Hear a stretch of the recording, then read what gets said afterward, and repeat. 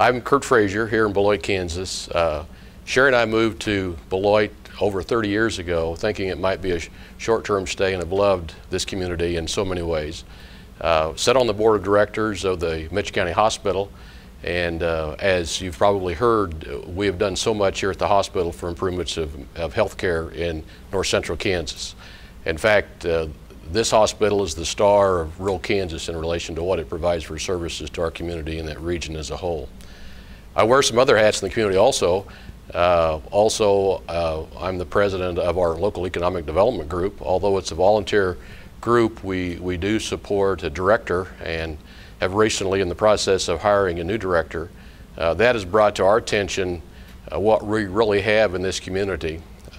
To speak of economic development, in the last six years, uh, we've added over $42 million of capital improvement in, in our community, and uh, which is phenomenal in relation to the state of Kansas. We really have a community that has a very positive outlook as to, you know, economic development and and lifestyle here in the community. And what that's what that's led to is we've had the expansion of a number of businesses in the area.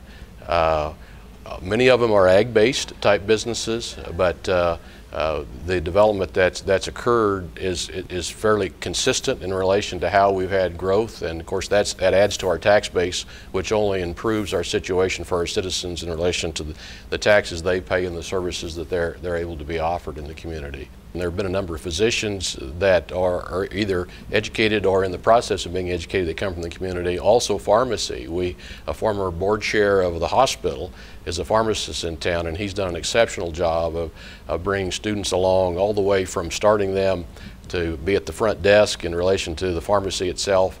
Many of them have, have gained a love for pharmacy and then have gone through pharmacy school and have come back. So uh, this community is one that, that largely grows its own in many ways. And, uh, and so it's amazing the number of young people we see coming back to the community because they want to raise their families in, in this type of environment there's a real sense of partnership and cooperation, and uh, and I think that goes to the personalities of the people that are that are involved. I, I, I, think there's some real spiritual strength in this community that, uh, that you know, our physician base is very strong with, our community is very strong with, and, and I think it has really had a, a real impact in relation to what we have to offer here in our community.